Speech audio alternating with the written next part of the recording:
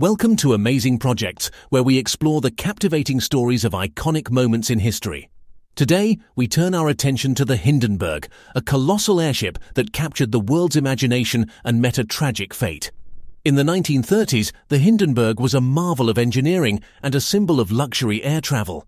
Built by the German Zeppelin Company, this massive airship was the largest flying machine of its time, measuring over 800 feet in length.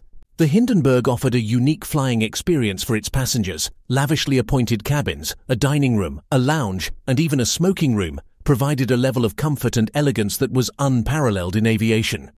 On May 6, 1937, the Hindenburg's final flight took a tragic turn when the airship caught fire while attempting to land in New Jersey.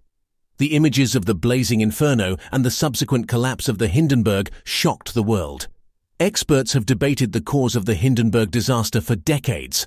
While the exact ignition source remains uncertain, theories point to a combination of factors, including a highly flammable hydrogen gas used for buoyancy and possible ignition from static electricity. The Hindenburg disaster had a profound impact on the future of airship travel. It led to a shift towards safer alternatives, such as the use of non-flammable helium gas, which is still employed in modern airships today.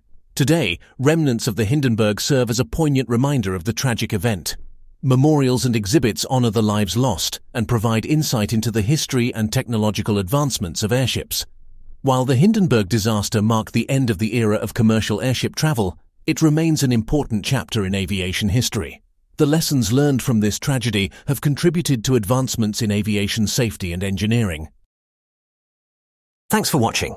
Don't forget to leave a like and subscribe to our channel for more fascinating topics and amazing projects. Also, tell us in the comment section what topic you want us to cover next.